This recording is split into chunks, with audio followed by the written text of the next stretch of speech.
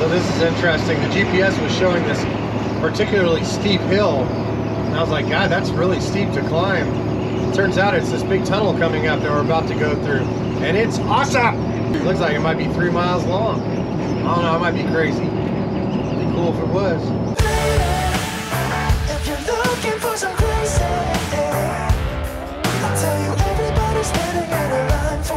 If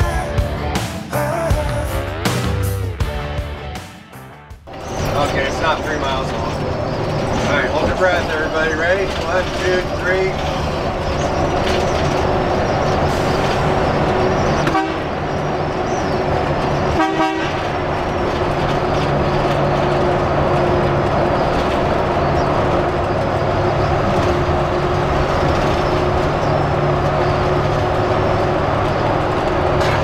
Easy peasy.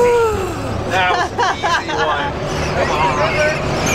You guys breathe through that. Come on. this place is so cool. What a wonderful place to drive in the wintertime. This place would probably be horrible in the summer. And honestly, it would be like almost too hot for the bus to go through because it would just be, it would just be hot, you know. But uh, boy, in the wintertime, what a treat. I would do this every winter.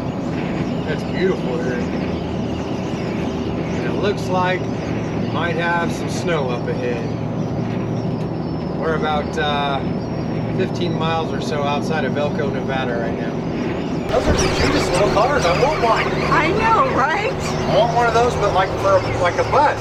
We get get some of those for the bus and change them out and just do some long hauls. You know, cross country on the railroad, like modern hobos. Babe, we are modern day hobos. I know we are. but we never get to ride the rails, man. Our forefathers would not be proud of us. You know, my brother and many members of my family can attest to this, but my great grandpa Ash was literally a hobo or also a wino, and he literally did ride trains around and hang out with other hobos at hobo camps, and he had all kinds of stories about it. I never obviously got to know him because he was dead before I was born, but everybody else in the family knows. Pretty crazy, huh? That's kind of cool. I come from a long line of hobos. We're here. Welcome to Elk Snout.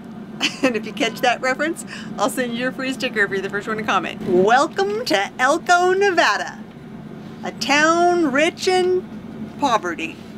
Elk. A town rich in elk.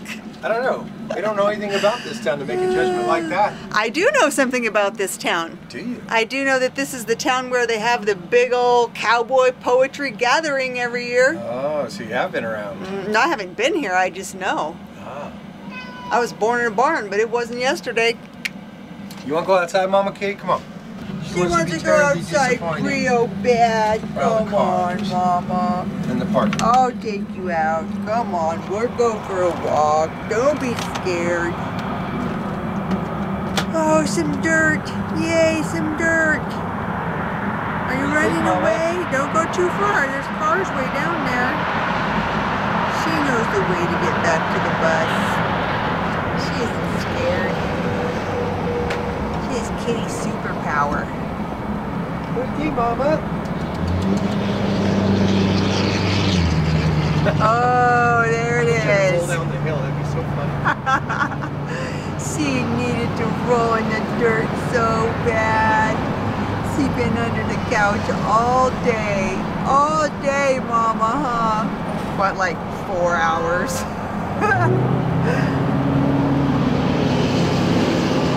She's happy down there. Anyway, we're staying at the Elko, Nevada Walmart parking lot. This is probably the third or fourth time we've stayed at a Walmart now. We didn't for the longest time, and now that we've been traveling a lot, it has happened a few times. It's just as good as any other place, really. We're only here for a night. And we actually have a few things we need to buy anyway, so it'll be convenient. Continue on I-80. We're on the road again. Currently light traffic on your route. on the way out of Elko towards our next unknown destination. It was 17 degrees last night, you guys. But Mike had the thermostat on running the diesel heaters periodically throughout the night, so we didn't notice it. We were fine. Dun, dun, dun, dun, dun, dun, dun, dun, dun, dun, dun. Welcome to the little bitty weird little town of West Wendover, Nevada. Because we actually have not crossed into uh, Utah yet. I see me cowboy, cowboy,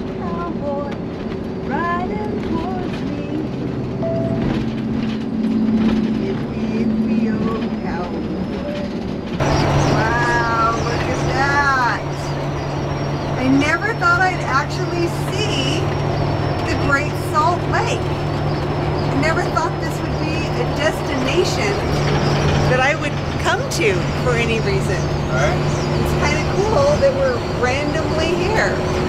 Yeah. Go Utah. It's hard to get over these views you get just driving down the road. I don't know what mountain range this is. Maybe I'll look it up. Look something up so I can tell you, but I'll tell you this is uh, stunning. Just stunning, beautiful. I really like how the uh, the snow line comes right down to about ground level, you know? Let's figure out what the biggest problem with the bus is. The problem du jour. It's just making a strange noise. I'm gonna get started on breakfast because my stomach's making a strange noise. I think the salt flats are underwater. Aww. Are we here at the wrong time of year? I don't know. Aw, you guys, we're at the Bonneville Speedway, and we thought we would be able to just drive right out onto the salt flats. And now it's looking like potentially that will not be the case because the salt flats look like a lake. Look Are at this. a lake, actually.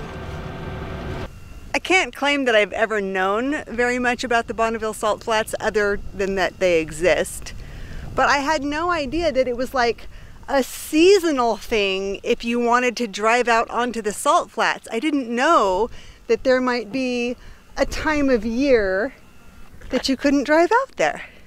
Oh my gosh, look how clear the water is, you guys. I didn't realize it was like crystal, crystal clear out here. Oh, and look at all the salt on the bottom. That's so weird. Oh, it's really kind of beautiful with all the patterns that the light makes on this crystal clear water. Wow. I kind of love it. Can you see the chunky salt down under the water? I don't know how well it's showing up in the camera. I can't tell until I edit how it actually looks. But if you're here in real life, the sunlight is glistening off the salt on the bottom, it seems like. There's like sparkles on the bottom like glitter. And then the sunlight and the ripples of the water. The whole thing's really beautiful. Yeah, you could go out if you want to. It's nice to get out of the bus and have a little rest break, huh, Mamacita? You going down to the water? You're gonna freak out. Wow, what a brave kitty you are. So brave going to the water's edge. It's yucky water, Mamacita. Don't drink it. Are you getting the water? Are you silly? It's yucky, huh? Doesn't taste very good, I know. Mm, little good kitty. You're a good kitty, you know that? You're the best kitty ever. Ooh, in some places it's really sparkly under the surface of the water. So pretty when you look out across the whole thing and all these sparkles, especially around the edges. What are you doing, little mama? You're hanging out by me because we're friends? Yeah, we're friends, huh? Best friends. Oh, she stick her paw right in the water. Oh, you're crazy. You can't walk on that, silly. You can't walk on that. What are you doing, silly? You, you're walking right in the water? You're not even scared of this water? You little nut job.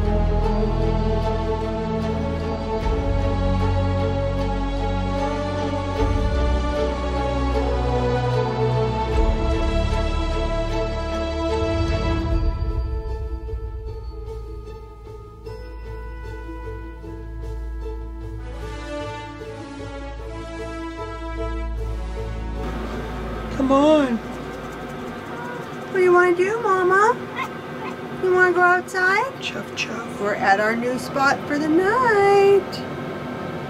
Come on, Mama. You want to see? Oh, yay, it's dirt. It's Time for some dirt yoga right now. Oh, of course it is. Of course it's time for dirt yoga.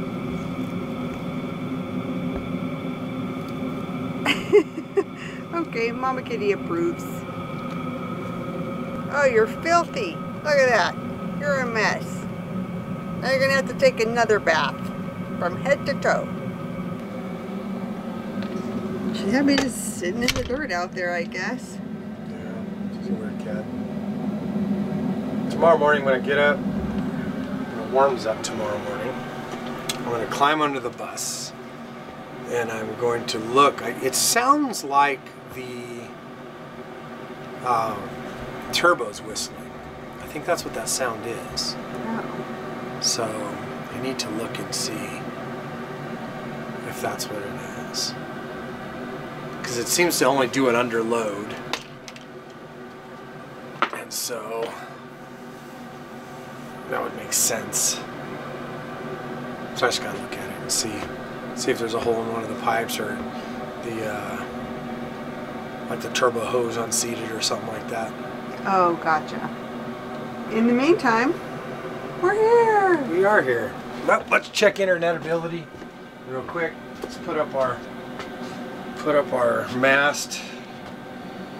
Oh, got great signal for the phone. There we are. Signal quality minus seven. It's bouncing around minus four, minus five, minus seven. So that's a really good signal. At minus ten, I would still be watching the internet, watching streaming Netflix. So minus six is actually particularly good. This is not snow. This is the Salt Lake, the Great Salt Lake. And it's going to be 100 miles to get across this thing.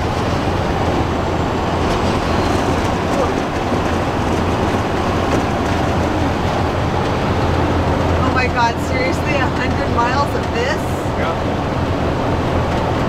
I swear you can see the curvature of the earth from here. Check it out, you guys. Look what we see in the distance up there. It's the tree of Utah. I wish if we were going the other direction, we could stop and check it out, but like we're not. and so we can't like just pull over on the side of the road. It's emergency stopping only, as this sign right here says. So we can't just stop and, you know, walk over there. Looks like there's a turnaround. That would put us driving hundreds of miles back to turn around again. Very shameful. Great art installment. It looks like tennis balls. Yeah. Ginormous metal tennis balls. They're concrete. oh, they're concrete. Or they're, yeah, they're concrete. Goodbye, tree of Utah.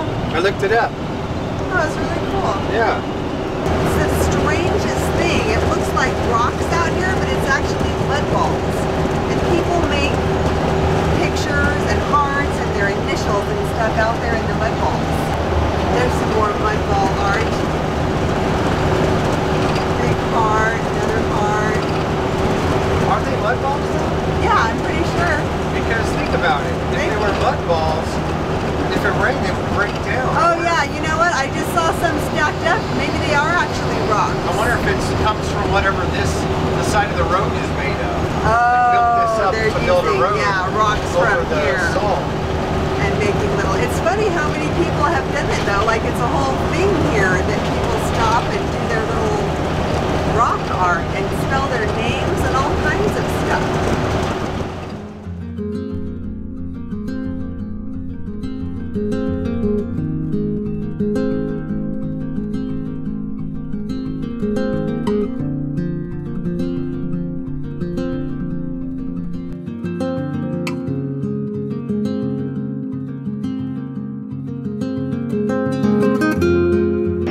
Just climbed up out of Salt Lake City, and uh, this area is idyllic with uh, little ranches and stuff, and just like something out of Legends of the Fall. Northern Utah sure is pretty.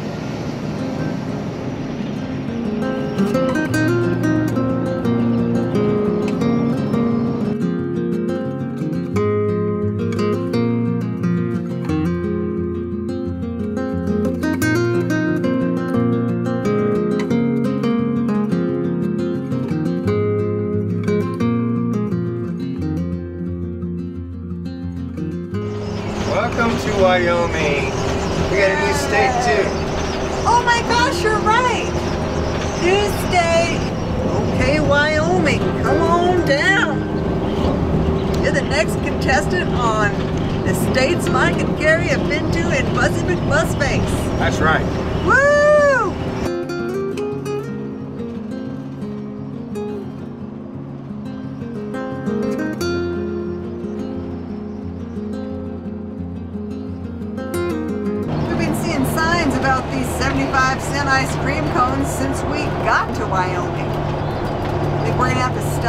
Little America and have us some ice cream. Makes perfect sense. I mean, it's what 25 outside. Yep. After our ice cream, we'll just have some hot chocolate to warm up. What better thing to do on a day when it's 25 degrees but have an ice cream cone that won't melt? It's only 75 cents. You have to. It's like the last place in America to get ice cream for 75 cents. Just look at you could walk outside with it and it won't melt. Ever. Right, we could keep it till, Till tomorrow. spring. Till spring.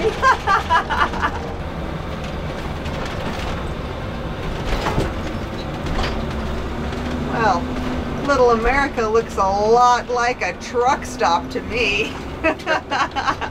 say the least. Oh, it's just, it's the whole thing here is Little America. There's, there's places to Turn left stay. on I-80 East. Looks like there's a restaurant or something over here. So I'm just trying to put us someplace that doesn't have a lot of rigs so we don't have to listen to them. So if we park closer, we have to deal with loud trucks. Now we could park closer and just go get our ice cream cone and then come back out there. That seems like the logical thing to do. I like your, your thinking. I bet you guys didn't know, but Kerry's anaphylactically allergic to snow. And if she touches it, she'll die within minutes. But I gotta know my cold gear for getting some ice cream. Very wise. It's 25 degrees out here in this chill right now. Because I'm not allergic to ice cream. I even got on my super cold gear because it's freezing on my noggin. Much better in here. Thanks, Hans. Oh, it's a nice little place. See, you could have a cool one too. Oh, they got fossils here. And cool geodes, man. Rainforest oh, frogs. I would eat those. They look delicious. Are they gummy or something different? gummy. They look gummy. Kerry's working on getting us kicked out of Little America. Whatever, I'm working on a construction project. Oh, oh, that was a failed construction project. We have to keep going until we get it right. It's not how this is going to work. Almost. It worked for a second. You're an embarrassment. You're a disgrace. Obviously, we should get the ice cream cone one. Got the dinosaur. They do have the buffalo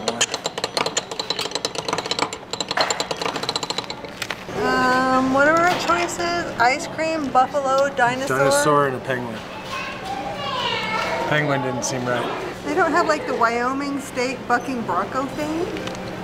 What? Crazy. Let's get the buffalo one.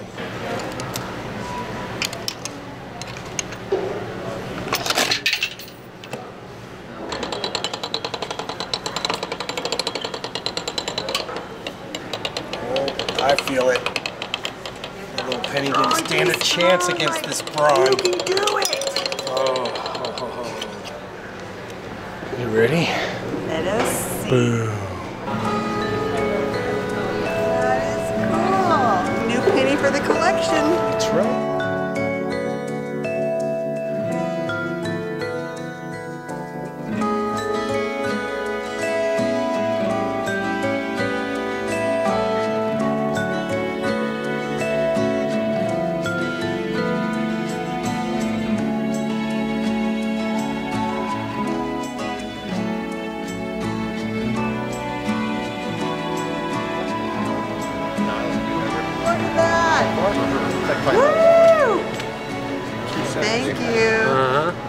Thanks, bud. Guys uh-huh. have a good one. You too, man. Excellent. Get our vines. Oh, yeah.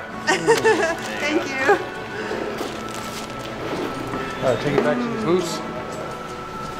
It's what, 24 degrees outside and we're having ice cream? Yes, of course we are. It's a perfect thing to do. When it's hot out, it's too hot for ice cream and it melts everywhere. this way you can enjoy your, you can enjoy this for a long period of time. Yes, there will be no melting here. You can literally save some for later. Just set it down, eat some later. When's the last time you could do that with an ice cream cone? Yeah, no, it's Never. He even got on his ice cream eating boots, you guys. He's like ice cream Look. ready from head to toe. Oh, snow ready, don't you know it? Right. My ice cream got colder on the way over here.